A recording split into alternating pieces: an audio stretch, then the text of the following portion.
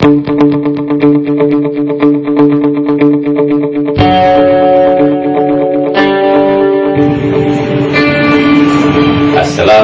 warahmatullahi wabarakatuh. Apa kabar kalian siswa-siswi Indonesia?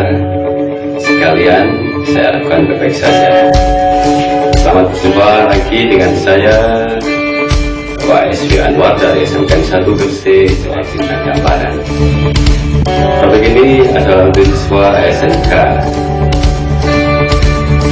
Semester 1 Oke? Yuk kita tengok sama-sama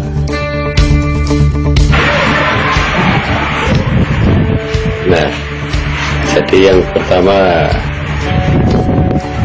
semuanya kita akan pelajari tentang teks deskripsi atau deskripsi teks. Oke, okay? apakah deskriptif teks itu? Nah, kita coba lihat penjelasannya. Oke. Okay?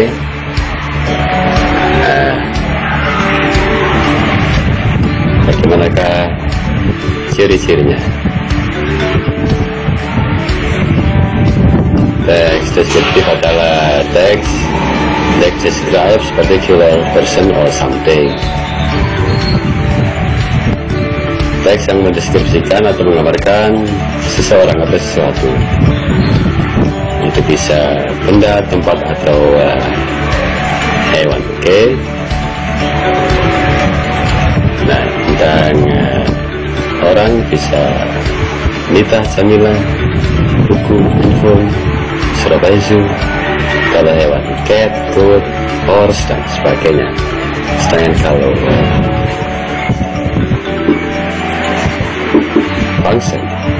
fungsinya adalah untuk mendeskripsikan seseorang atau sesuatu. Oke. Okay?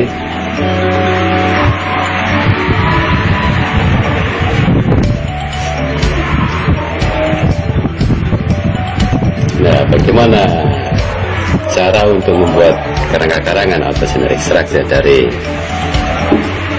uh, teks deskripsi ini yang satu ya ada title yang kedua atau judul yang kedua identification identifikasi yang dibahas dan yang terakhir adalah description atau gambaran dari yang dibahas tadi. Oke. Okay. sedangkan untuk fungsi sosial yang adalah untuk mengidentifikasi. Gambarannya adalah bisa tentang bagian kualitas, karakter, dan sebagainya oke.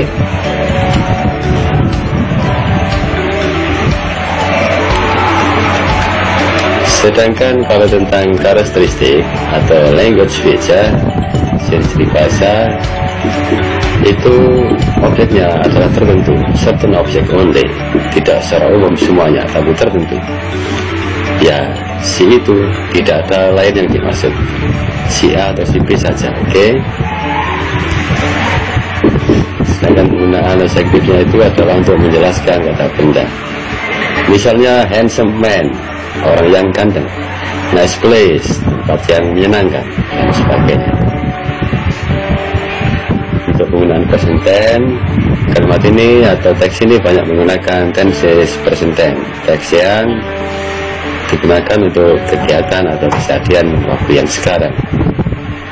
Sedangkan untuk action verbsnya itu adalah kata kerja yang menunjukkan kegiatan yang bisa dilihat. Misalnya yang bisa dilihat misalnya tersenyum, berlari, tidur dan sebagainya. Oke? Okay?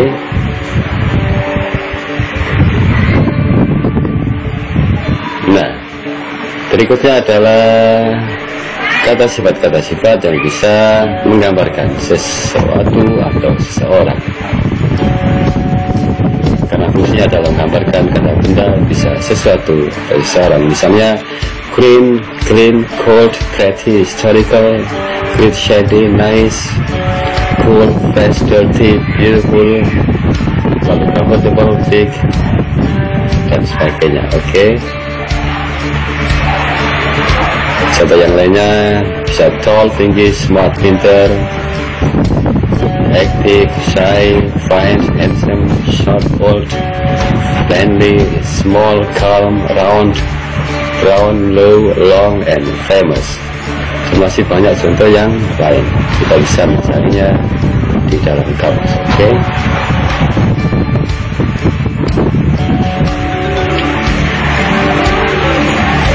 Nah, seperti itu tadi siswa-siswi sekalian karena tentang teks deskripsi teks yang menggambarkan sesuatu dari seseorang.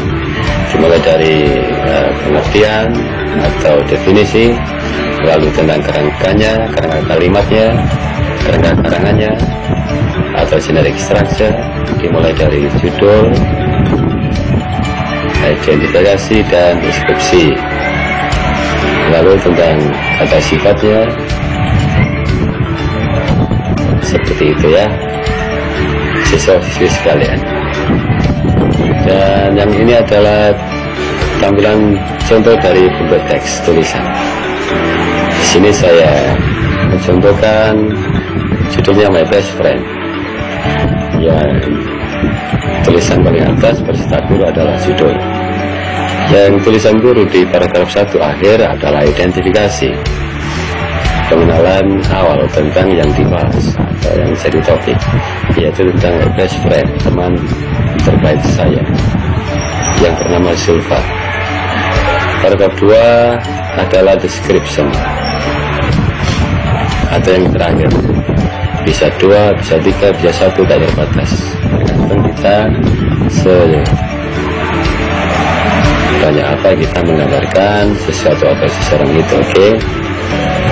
Misalnya mulai dari uh, penampakan fisiknya mulai dari kepala sampai kaki digambarkan mulai rambut, kepala, dada, terus sampai kaki bisa juga lewat yang tadi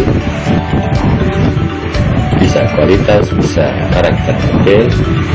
dan pandai-pandai kita merangkai kalimat supaya teksnya adalah bisa panjang. Oke. Okay? seperti itu.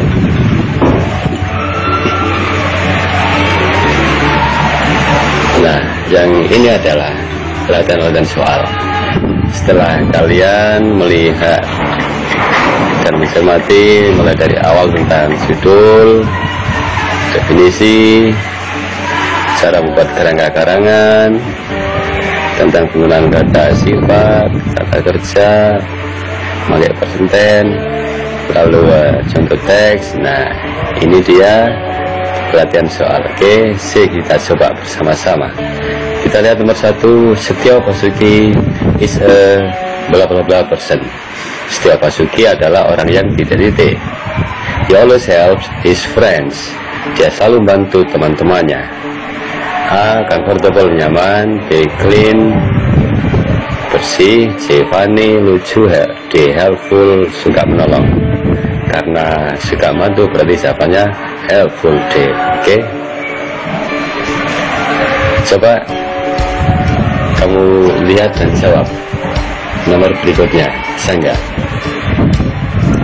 Mu'alidin praise every day. Maulidin sholat setiap hari in the mosque di masjid. He is a blah blah blah man. Dia orang yang tidak-tidak. Apa coba siapanya? A. Good, bagus atau baik. B. Funny, C. Sharp, tajam. D. Fragile, rapuh. Yang paling mendekati adalah apa siapanya? bagus jawabannya A bagus atau baik. Dia adalah orang yang baik. Kita coba nomor tiga. People say that Isna is a bla bla bla girl. Isna orang mengatakan bahwa Isna itu adalah orang yang gadis yang tidak anak perempuan yang tidak A ugly jelek B berarti cantik C shady rimbun ya di frozen uh, dingin kalimat wanitanya yes it can be right ya benar saja for many young men karena banyak pemuda admire her mengaguminya nah karena banyak mengagumi berarti dia anak perempuan yang Jadi yang lebih zamannya. Soal nomor empat apa coba? Hmm. Kita lihat pilihannya ABCD, A greeting, B kalem, kalem, C interesting, menarik, dan D impolite, tidak sopan. Kita lihat kalimatnya, persiapkan jawaban kalian, oke? Okay? Empat, he said that Erna is a blah blah woman. Kamu mengatakan tadi bahwa Erna itu wanita yang tidak itu. Ya, karena dia because he frequently smiles karena dia itu sering senyum ketika when speaking with others. Ketika berbicara dengan yang lain. Karena suka senyum berarti is uh, Erna adalah wanita yang interesting bisa yang paling sesuai dalam interesting. Menarik. Benar kan jawabannya? Nah nomor berikutnya yang lima ini apa coba jawabannya ada A arogan sombong B diligent rajin C ignorant uh, cuek suka cuek D honest jujur. Kita cari jawabannya. Lihat pertanyaannya. How great Ririn is. Oh luar biasa sekali si Ririn ini. She does many tasks dia melakukan banyak tugas setiap hari. Nah melakukan tugas berarti si bisa ya girl dia anak yang nah bagaimana?